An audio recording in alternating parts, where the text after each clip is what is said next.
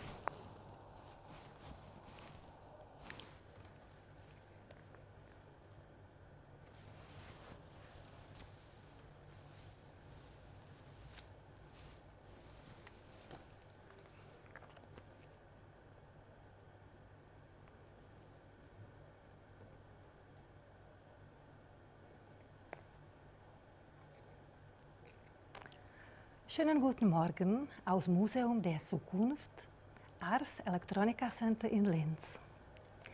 Mein Name ist Scharka Klavböck und ich darf euch, liebe Zuschauer, herzlich willkommen bei unserem heutigen Home Delivery, Delivery Tutorial Programm. Mehr als zwei Drittel aller Informationen unserer Umwelt nehmen wir primär mit den Augen wahr. Und Farben spielen dabei eine entscheidende Rolle.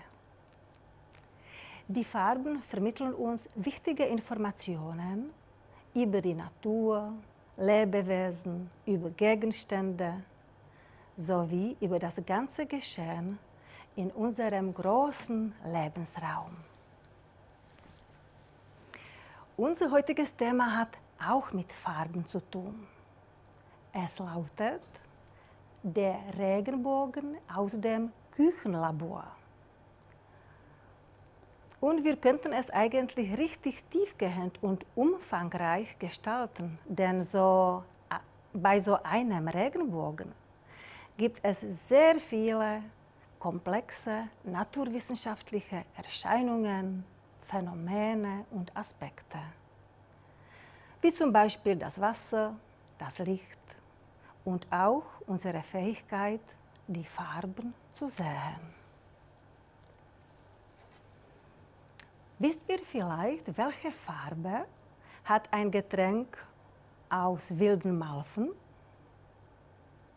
Da habe ich etwas vorbereitet getrocknete Blüten von wilden Malden habe ich ins Wasser gegeben, wobei die wilden Malven ganz schöne rosa oder magentafarbe normalerweise haben. Aber wenn wir eine Lösung gemacht haben im Wasser, können wir hier genau sehen, dass die Farbe nicht unbedingt rosa ist sondern richtig, richtig blau. Wenn wir ein bisschen noch das Ganze zusammenmischen, sehen wir die Farbe vielleicht noch deutlicher. Also wenn ihr zu Hause nachmacht, ist es gut, durchsichtige Behälter zu verwenden.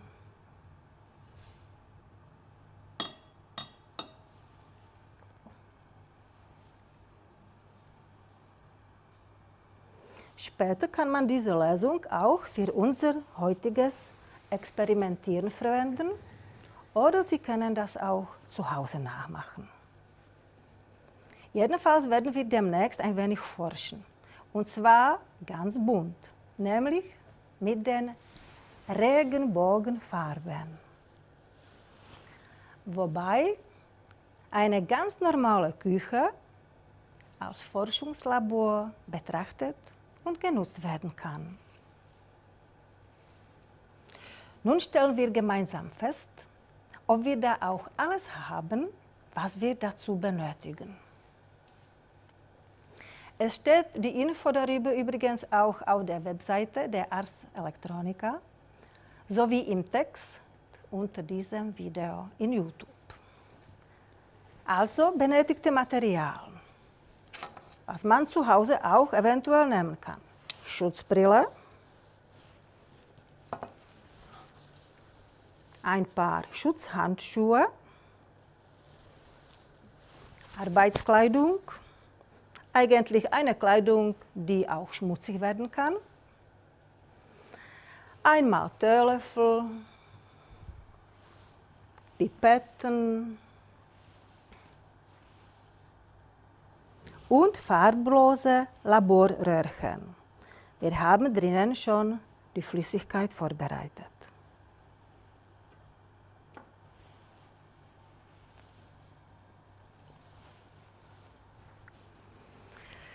Wenn Sie zu Hause keine Schutzbrille haben und keine Schutzhandschuhe, bitte vorsichtig hantieren. Wenn man keine Pipetten hat, kann man eigentlich anstatt Pipette einen kleinen Teelöffel verwenden. Das war das Material. Jetzt haben wir noch Reagenzien, das heißt Säuren oder Basen, die wir dann brauchen werden. Das ist, das sind diese. Also, Zitronensäure, Natron oder Backpulver oder Waschsoda kann man nehmen, Geschirrspüler und eventuell kann man auch gut Leitungswasser brauchen. Leitungswasser ist gut, weil es hat den pH-Wert 7. Das heißt, es ist nicht, nicht einmal sauer, nicht einmal Base, es ist genau in der Mitte, neutral. Und mit Wasser kann man eine Säure oder eine Base dann schwächer machen oder man sagt dazu auch neutralisieren. Und das Letzte, was wir noch haben, sind die Indikatoren. Das sind unsere Säfte. Da haben wir vier Röhrchen mit rotem Rübensaft, vier Röhrchen mit Kurkuma-Extrakt und vier Röhrchen mit Blaukrautsaft.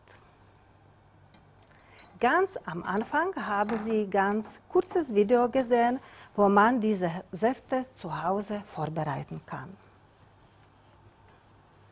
Alles ist da, also wir können anfangen.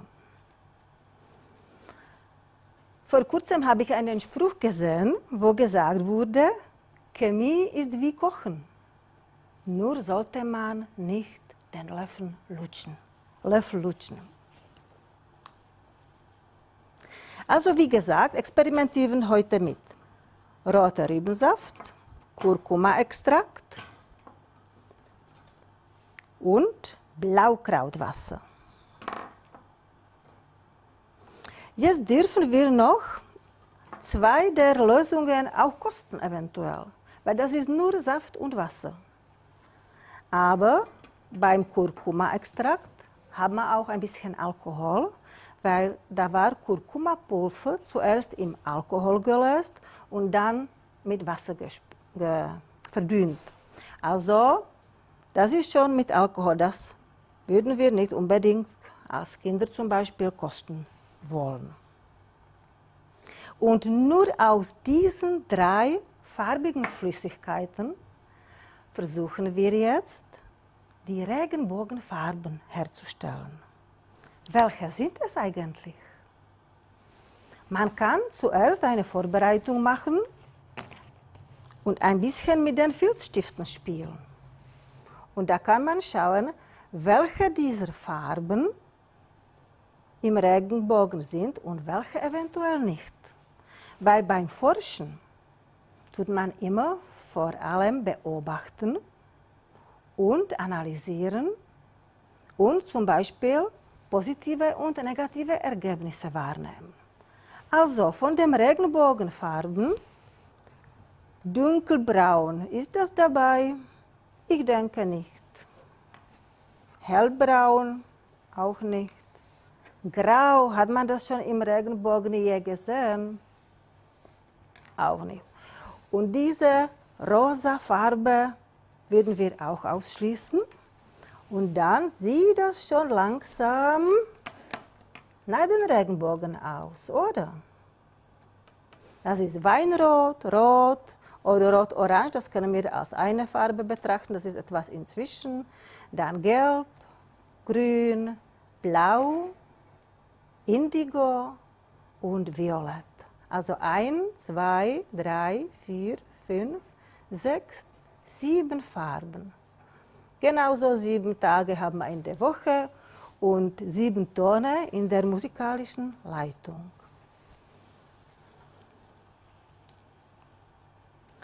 Also, was machen wir jetzt? Zu jedem dieser Indikatoren geben wir unterschiedliche Reagenzien, Basen oder Säuren, kann das auch sein. Wir beginnen mit dem Zitronensaft. Da haben wir für drei verschiedene, eventuell drei Pipetten. Wobei Natron haben wir als Pulver. Dazu nehmen wir lieber einen Teelöffel. Jetzt öffnen wir alle Röhrchen mit dem roten Rübensaft.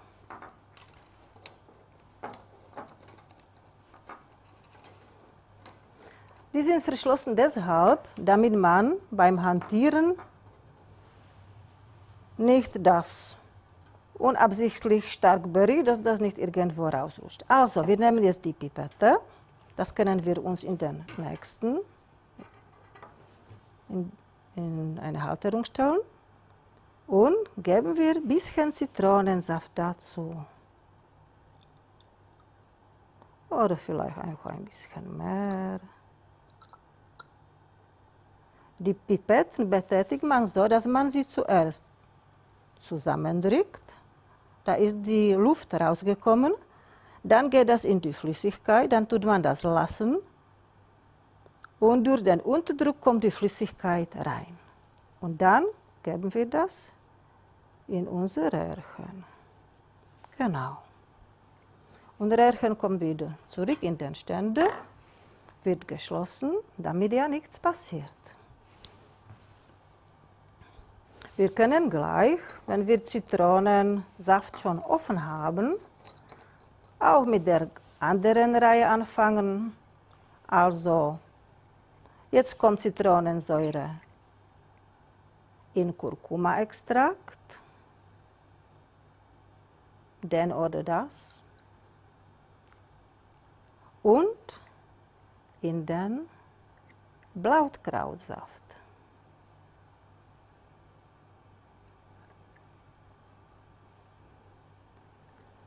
Und da können wir schon unser erstes Ergebnis beobachten eigentlich. Zitronensäure Säure als Reagenzien, als Reagenz erledigt, schließen wir ab.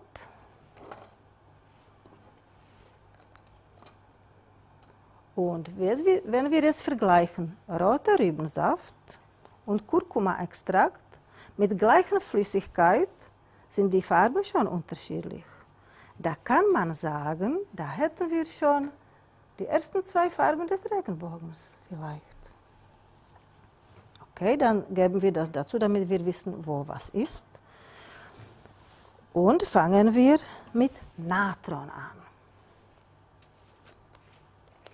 Also Reagenzien kommen in, in die Flüssigkeit und verursachen eine Reaktion. Dann öffnen wir hier auch immer die zweite.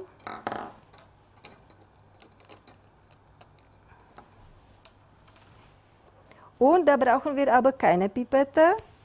Dann nehmen wir einen kleinen Löffel dazu. Und ganz vorsichtig schütten wir ein bisschen davon hinein. Also ich habe jetzt keine Handschuhe. Weil Natron kann man eigentlich auch mit einer Flüssigkeit zu sich nehmen oder zum Backen verwenden. Also ist nichts Gefährliches, aber trotzdem In einem richtigen Labor tut man von Anfang an bis zum Ende immer mit Handschuhen arbeiten. Wenn wir Natron drinnen haben, es ist doch ein Pulver, da können wir ein bisschen damit hin und her ganz sanft und langsam bewegen, damit sich unser Pulver homogen verteilen kann, möglichst homogen, weil in der Spitze ist etwas doch geblieben. Und da wissen wir jetzt, wir haben hier Zitronensäure und hier haben wir Natron. Natron kommt jetzt auch in die andere Röhrchen. Hier stelle ich mir immer das Röhrchen zum Hantieren auf die Seite. So.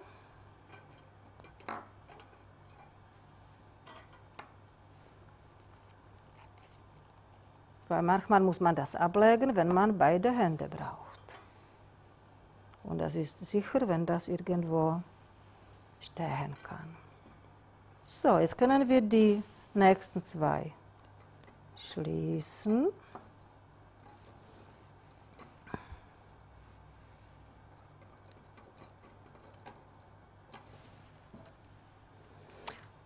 Und da sind wir. Nehmen wir die dritte Lösung und das ist von Geschirrspüler. Das ist Geschirrspüler, ungefähr ein Viertel davon im Wasser gelöst. Und da haben wir so etwas Lustiges darauf, so einen Totenkopf, hier nämlich auch. Was heißt das, wenn, wenn das im Labor vorkommt? Das heißt, es gibt giftige Mittel, die man auf keinen Fall zu sich nehmen kann. Aber für, für Experimentieren können wir das nehmen. Wenn jemand allergisch ist auf Waschmittel, wäre gut, dass man gleich auch Handschuhe nimmt. Ich bin es zwar nicht, aber probieren wir, ob das auch mit Handschuhen geht. Dann nehmen wir ein bisschen davon mit der anderen Pipette. Dann wir ein bisschen durchmischen. Und das ist das dritte Röhrchen. Geben wir das einfach hinein. Genau.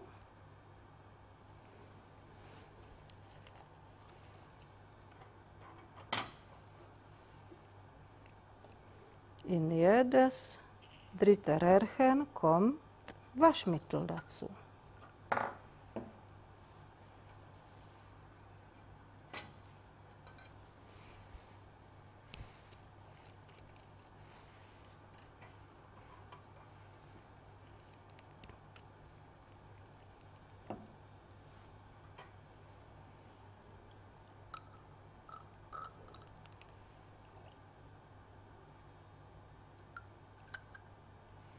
So. Die verwendeten Pipetten, vor allem die vom Geschirrspül, geben wir auf die Seite. Man gibt auch in einem Labor, manchmal auch in der Küche, alles wieder zurück, wo das war, dass man das eventuell nächstes Mal wieder finden kann. Ganz praktisch sind auch die Beschriftungen manchmal ganz wichtig, dass man genau sieht, wo was ist, weil alles kann man nicht merken und da hat man Übersicht.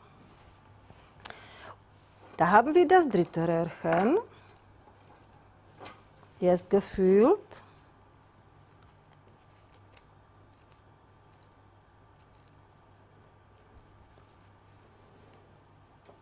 Und was machen wir mit dem vierten Röhrchen? Wir können das entweder so behalten, dass wir das dann nachher vergleichen können, oder wenn ihr möchtet, können, können Sie ein bisschen Wasser dazu geben. Oder das einfach so lassen, wie das ist. Man kann die Pipette verwenden oder wenn man so einen kleinen Behälter hat, kann man das auch so machen.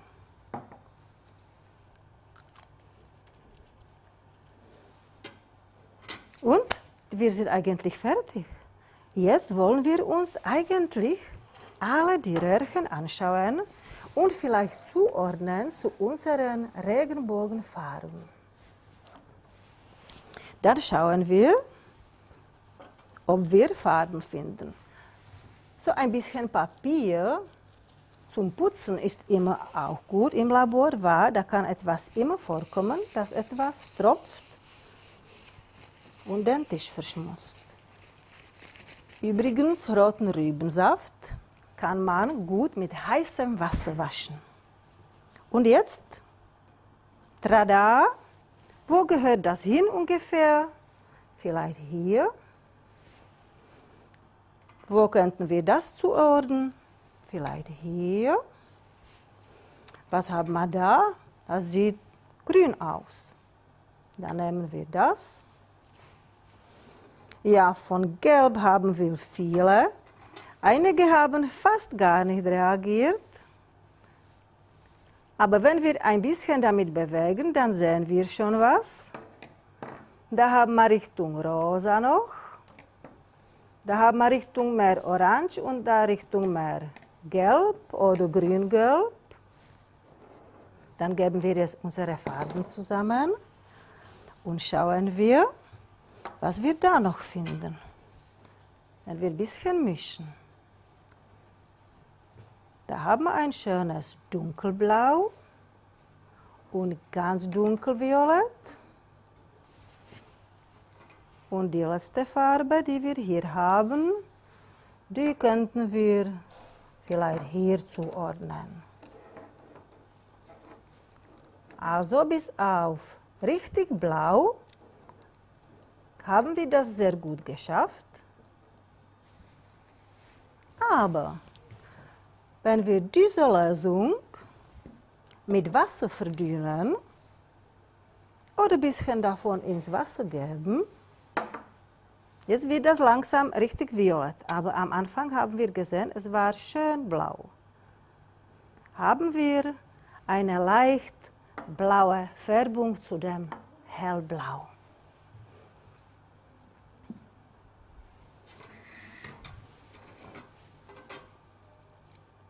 Die Röhrchen muss man auch richtig schließen, damit ja nicht etwas rauskommt. Und wir sehen, die meisten Farben, die wir erreicht haben, sind Richtung Rot, Richtung Gelb, etwas Grün oder Grüngelb und dann Richtung Blau und Violett. Also geschafft.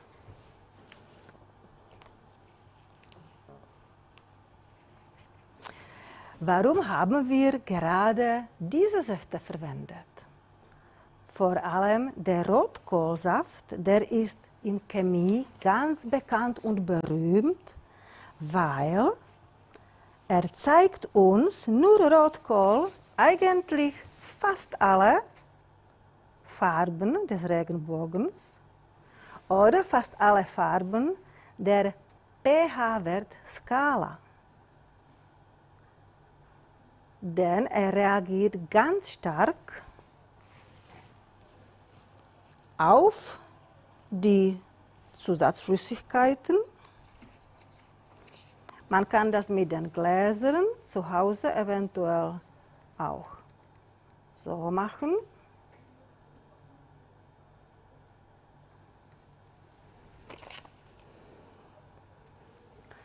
Den Rotkohl kennen wir also so ähnlich wie ein pH-Papier als einfache Säurebase-Indikator verwenden.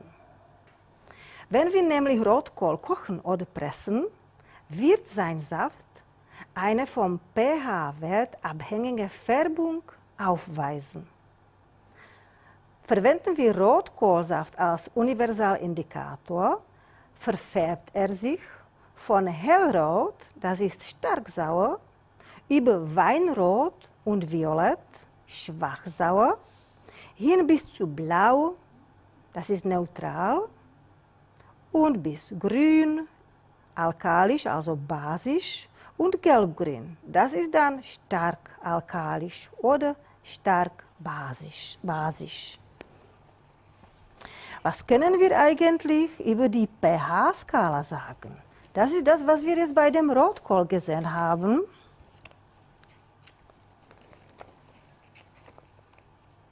Es ist gut zu wissen, dass es die pH-Wertskala, dass es bei, dabei 14 Stufen gibt. Wobei die Stufen 1 bis 6 stark sauer heißen. Die Stufe 7 ist neutral, das ist zum Beispiel stilles Wasser ohne Kohlensäure, weil Kohlensäure, da hört man schon Säure dabei. Und die Stufen 8 bis 14 sind basisch.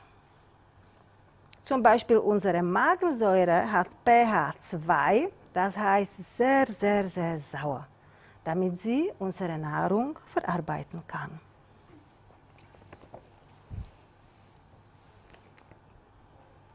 Und da sind wir schon beim Abschluss unseres heutigen Experimentieren. Und ich habe noch ein Abschlussrätsel für euch. Und zwar, was passiert, wenn man vor lauter Lachen weint? Da gibt es eine Antwort im Internet, was ich gestern gefunden habe. Also, wenn man vor lauter Lachen weint, entsteht übrigens ein Regenbogen im Kopf. Liebe Zuschauer, danke für Ihre Teilnahme und die Aufmerksamkeit. Viel Spaß und gutes Gelingen beim Experimentieren. Wir freuen uns auf ein baldiges Wiedersehen bei unserer nächsten Home Delivery Sendung oder eventuell noch auch auf eine persönliche Begegnung bei einer Führung im Ars Electronica Zentrum in Linz. Ich wünsche dir einen Regenbogen, der Hoffnung gibt und Brücken schlägt und der dich mit seinen Farben durch jeden grauen Alltag trägt. Auf Wiedersehen!